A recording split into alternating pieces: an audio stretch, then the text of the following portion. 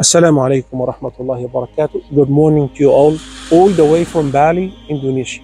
Beautiful island. MashaAllah, la quwwata illa billah. And with me, none other than my brother Mufti Menk and Wael Ibrahim. Turn it to you. Bismillah. Barakallah feek. Assalamu alaikum wa rahmatullahi wa barakatuh. We just uh, completed Salat al-Fajr a little bit earlier. You can hear the beautiful water here. It's very quiet. It's And nice. mashallah, tabarakallah. Uh, you know, before everyone comes out, we are here. We are just here for one day, and inshallah, we have a beautiful event today. We ask Allah to grant us uh, acceptance. But you know, the, the, the, the nature that Allah Almighty has created is amazing. It is so soothing. It actually helps an individual calm down. Imagine when you connect the dhikr of Allah with the creation of Allah. Is the time of the morning adhkar. This is the time of the morning adhkar.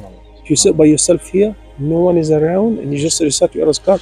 Look at the sunrise. This is it's just mind blowing. Subhanallah. Subhanallah. Subhanallah. You sit here for the first hour after Fajr, and that's it. It makes your day. You recite your word of the Quran, you recite your morning adhkar. That makes not only your day, your entire year. Wael. Fatabarakallahu Beautiful morning as the Mashaykh mentioned. but there's one thing always I remember subhanallah whenever I come to uh, to the beach at that at that hour is the hadith of the Prophet ﷺ that the barakah in my ummah was made during the early hours of the day so it's a reminder for all of us to seize this opportunity immediately after Fajr to stay with ourselves for a bit to mention Allah subhanahu wa ta'ala to make dua and ask Allah subhanahu wa ta'ala to grant us all Jannah al-Firdaus Ameen ya Rabbi أصبحنا وأصبح الملك لله رب العالمين سبحان الله Okay, one thing before we leave. We all know that there is one one single supplication. If you say right now, if I happen to die today, the Prophet ﷺ says, well, guaranteed you will go straight to heaven. And uh, likewise, in the evening, if you recite it in the evening, the evening which is, you know, before sunset, if you recite it and you expire on that night, you still go straight to heaven. To the extent that the, the Prophet, peace be upon him, named it the master of the supplications for seeking forgiveness. I'm gonna turn it to Mufti Menk. I I believe he will be the best to explain. How come? Very simple recitation. Any child can memorize it, but it has huge virtues. It takes you straight to heaven. Why? What is the big deal? You know, subhanallah, Allah Almighty has kept great success in sincerity. Mm. And the deeds and everything we say and do, the sincerity we have is what determines the power of what you are doing. So when you are sincere, small words would actually be so impactful. Allahumma anta rabbi. Oh Allah, you are my Lord. Mm. La ilaha illa anta. There is none worthy of worship besides you. Khalaqtani. You made me. Oh, so it, number one, it begins with the acknowledgement of the oneness of Allah. It begins with the acknowledgement. is the key to heaven. That is true. It starts with Tawheed. Mm. It starts with the fact that we worship Allah alone. You are my Lord. And Mm. that's it. Mm. And, and on top of that, we don't just say, oh Allah, you are my Lord. But there is none worthy of worship besides you. La ilaha. You made me. So if you made me, you have the right to determine what I should do, what I should not do. Uh, you know, the do's and don'ts there. It's up to you to decide. And here I am. I'm your slave. Mm. خلقتني وأنا عبدك. And on top of that, I am your slave. Mm. I'm totally under you. Subhanallah. Subhanallah. Submission. Subhanallah. Now, وأنا على عهدك ووعدك ما استطعت. I am upon this covenant, this promise that I have made to the best of my ability. And you are renewing the fact that I'm going to try my best with everything. So renewing your Subhanallah. covenant with Allah on regular basis, morning and evening. وأنا عبدك وأنا على عهدك ووعدك ما استطعت. أعوذ بك من كل شر ما صنعت. Mhm. I seek refuge in you from every evil that you have created, from everything, uh, sorry, that I have made, Yeah. from uh, every deed, every bad deed that I have done. Mhm. Every bad deed that I have done, I seek refuge in you from that. So we are Subhanallah. seeking the forgiveness of Allah. Mhm. Uh, number one, if Allah protects you from something, you'll be protected from it. Mhm. If Allah is not protecting you from something, you will end up doing it. And you will, so you ask Allah for protection, no Mhm. matter how powerful you are. Just like when you want to do something, you seek Allah's help to do it. It doesn't mean I'm powerful, I will do it with my own power. Ask Mm. Allah's help. So, Mm. أعوذ بك من كل شر ما صنعت. أبوء آه، أبوء لك بنعمتك علي. When you acknowledge the gift of Allah upon you. Mm. that I'm fully acknowledging what Allah Almighty has given me. Mm. Abu laka bin ni'matik wa Abu and I'm acknowledging my sin. There is no point in That is the secret, which yes. is begging Allah for forgiveness after admitting your sin. After admitting your sin. If you don't admit the sin, there is no forgiveness. Mm. That's why we say those who justify sin, there is no chance for them to mm. seek forgiveness of Allah. Mm. This is why they say a bid'ah is worse than a person who does something wrong knowing this is wrong. And he won't be forgiven as long as you don't acknowledge it. Yes, when you know what I'm doing is wrong, then you will say, Oh Allah, forgive me. But if you think what you're doing is right and it is wrong, when are you going mm -hmm. to mm-hmm. seek the forgiveness of Allah? Mm. So that's why we ask Allah to guide us. Uh,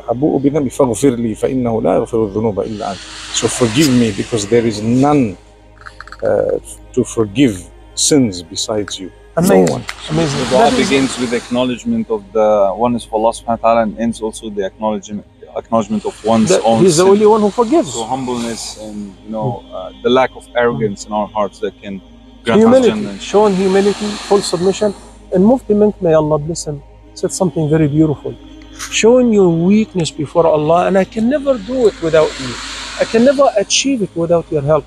I can never quit sins and overcome, you know, my inner desire without your help and assistance It reminds us with what Yusuf alayhi salam, who was the purest pure, uh, prophet.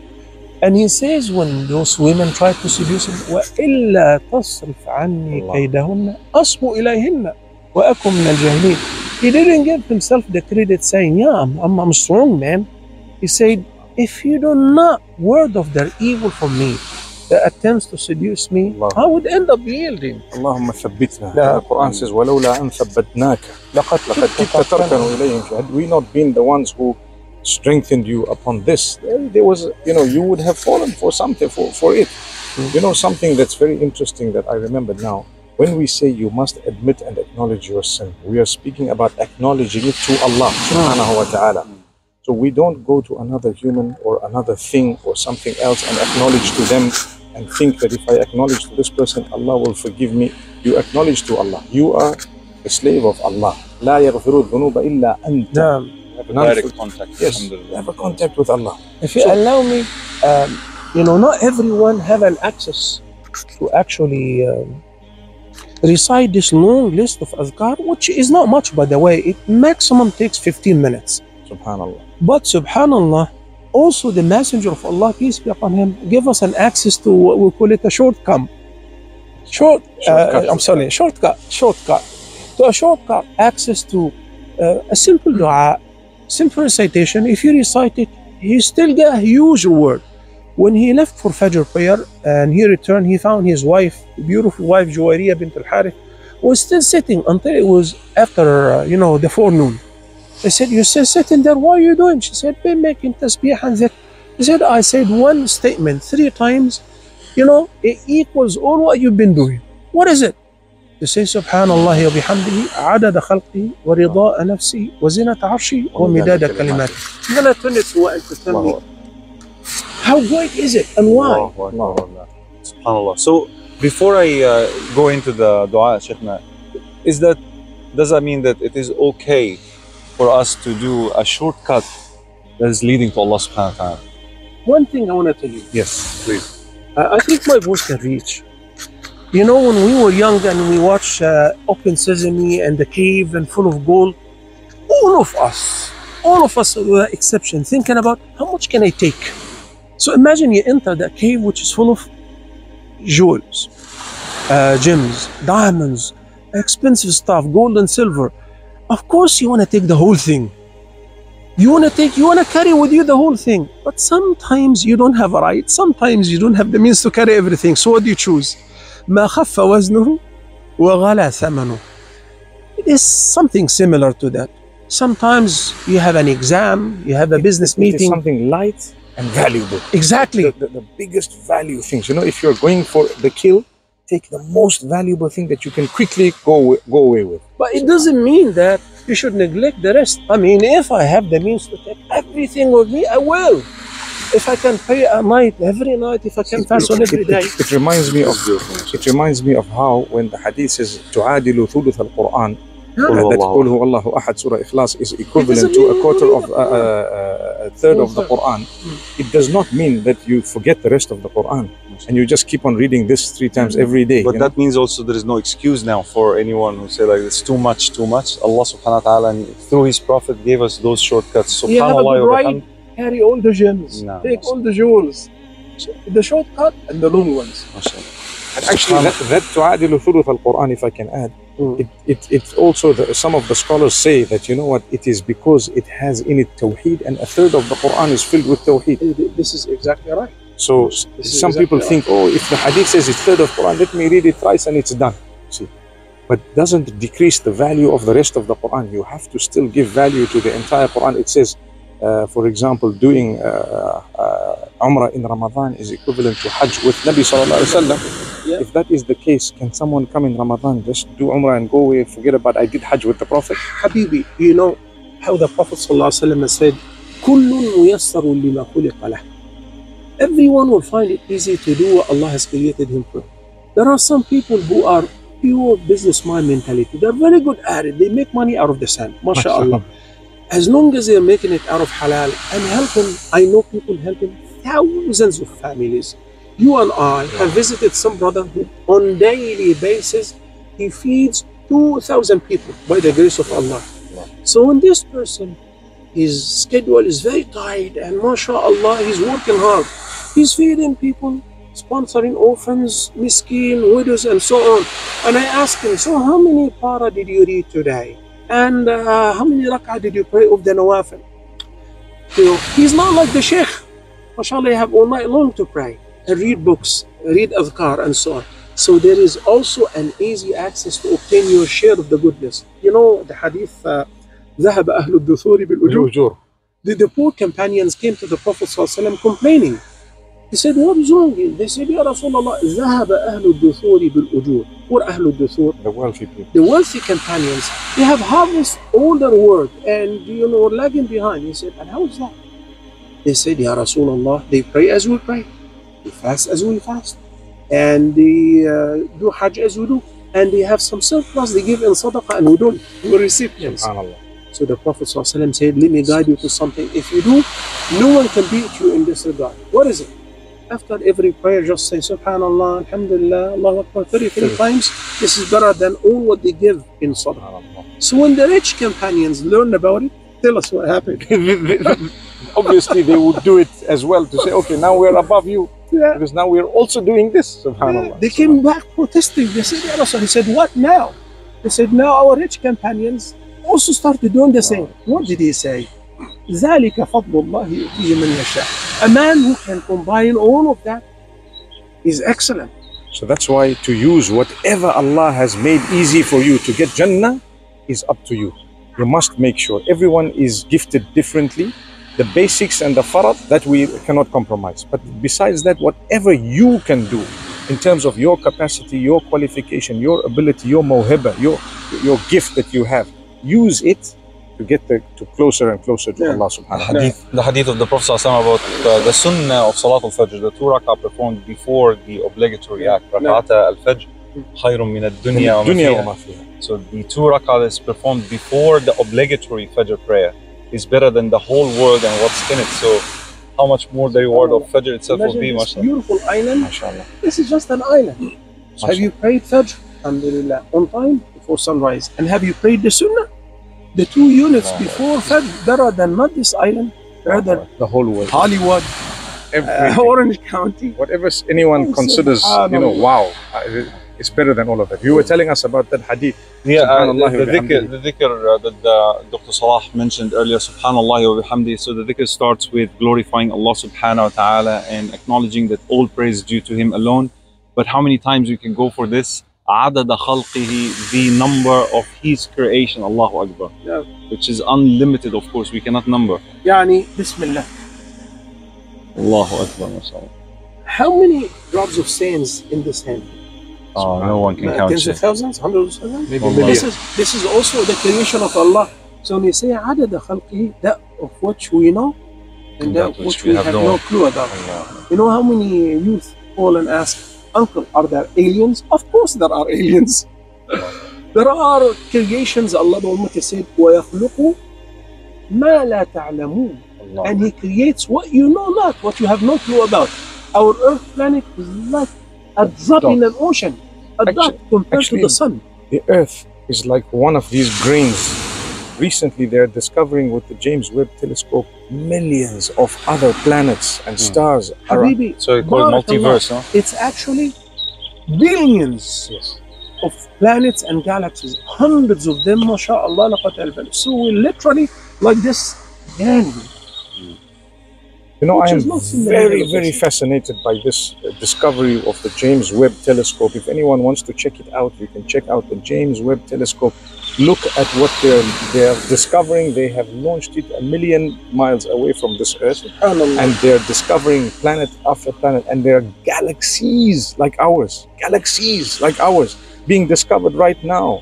And we were here a few years ago thinking it's just these few planets. La hawla wa la So the praises of Allah as equal to as many times as the number of the creation of Allah that which we know of, That which which we have no we have clue. no clue about. Allah. Please. ورضا نفسه now correct me about the translation Sheikh and the level of Allah's satisfaction about he- himself As much as it will make him happy. as much as it will make Allah subhanahu wa ta'ala Subhanallah. pleased subhanallah ورضا نفسه وزنة عرشه and the weight as heavy as the weight of his throne Allah subhanahu wa ta'ala ومداد كلماته No, no, no. Don't Oh, go okay. to the Midada Kalimat. Okay. Speak about Arsh. oh Allahu Akbar Speak Allah. about you- Sheikh Mink spoke about, you know, mashallah, the galaxies, billions of planets and galaxies, you know.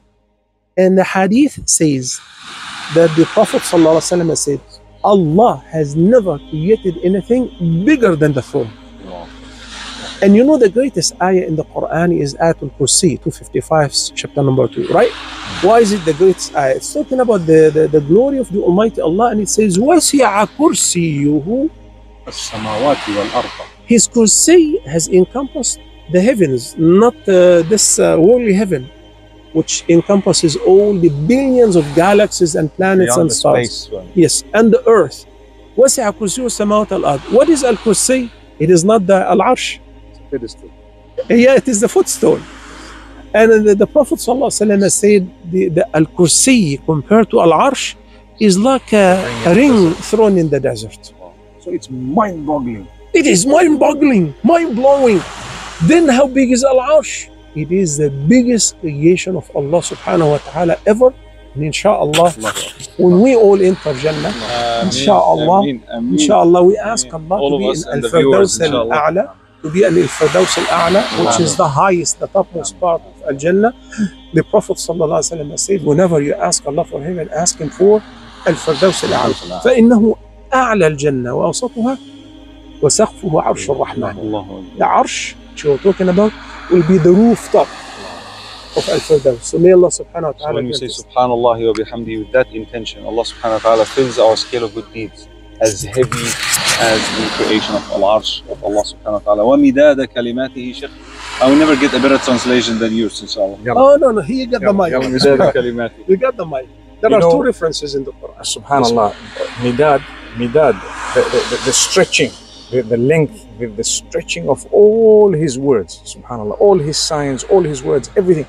This entire dua is actually praising Allah equivalent to everything He has made and up to when He will be pleased and stretching beyond all His words, meaning to, to the to the tune of all His words. Unlimited praises. Subhanallah. Unlimited I, praises. when you lifted the sand a few minutes ago, one handful, and I'm thinking, imagine every single grain of sand in that dua you are saying, Oh Allah, subhanallah wa bihamdihi, as per each one of these grains dropping here.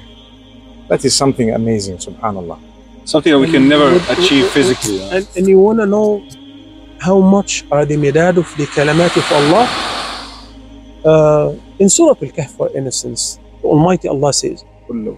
قل لو كان البحر look at the bahr this is one sea but the word al-bahr here refers to all the seas and oceans rivers uh, and ponds on Exists. earth all the water that exists on earth which represents about 80% okay قل لو كان البحر مدادا لكلمات ربي the word مداد refers to the ink which we use the bamboo in order we dip it in the ink pot, so we write. If all the water on earth turn into ink, so we sharpen all the trees into pins, and we dip and we keep writing. Writing what? The traits of Allah, the beauty of Allah, the praises of Allah, the countless blessings of Allah. وَإِن تَعُدُّوا نِعْمَةَ اللَّهِ if you ever try to estimate and count the blessings of Allah, never will you able, be able to, to keep count. So, لَنَفِذَ الْبَحْرُ all this water would be depleted, but the words of Allah will not be depleted, and His signs and His grandeur never depleted. The water will be depleted. The, the trees will be depleted. Allah says, "ولو أن ما في الأرض من شجرة أقلام والبحر يمده من بعده سبعة أبحر ما نفدت كلمات الله." Like Dr. Muhammad said, if every tree was a pen, every tree was a pen, and all the water on earth was actually ink, that would the ink and the pens and would be depleted, but the kalimatullah n- not depleted. There are maybe uh, people, Sheikhna online, sorry to interrupt, who maybe uh, never heard that dua before, that dhikr before. So I wanted to repeat it one more time, we inshallah. write it down. And we write And down be in also the in the description. Arabic and the meaning. But the pronunciation, inshallah, for those who are listening, maybe you can start writing maybe the transliteration so that you can memorize it, inshallah ta'ala. Subhanallahi wa bihamdihi, adada khalqihi, wa rida nafsihi, wa zinata arshihi, wa midada. Yeah, he sounds better. I forgot he used to be a singer. You know, last but not the least, because it's already sun rising.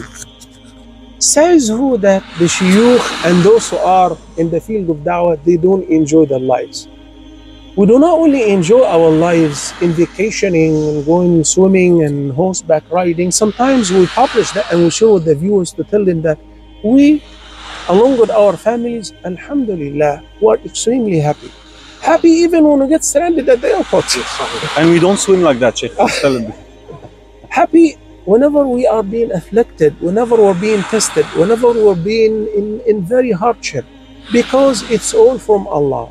Being content with Allah's decree and decision, and also whenever we have an opportunity like that alongside with the da'wah, we enjoy. But we reflect upon the magnificent, beautiful creation of Allah. So may Allah fill all our hearts with joy, delight, and happiness, and have a beautiful, beautiful morning for all of you. Not only morning, morning, evening, and every day. May Allah make it beautiful. MashaAllah, you will probably be in different time zones and you probably will see this uh, at different times. May Allah bless you wherever you are. The greatness of Allah is such that we have no option but to surrender to Him completely, to worship Him alone. And inshallah, we will meet with Him in the hereafter, in Jannat al-Firdaus. Ya Barakallah fiik. Wa sallallahu wa sallam wa baraka ala nabina Muhammad. Assalamu alaikum wa rahmatullahi wa barakatuh.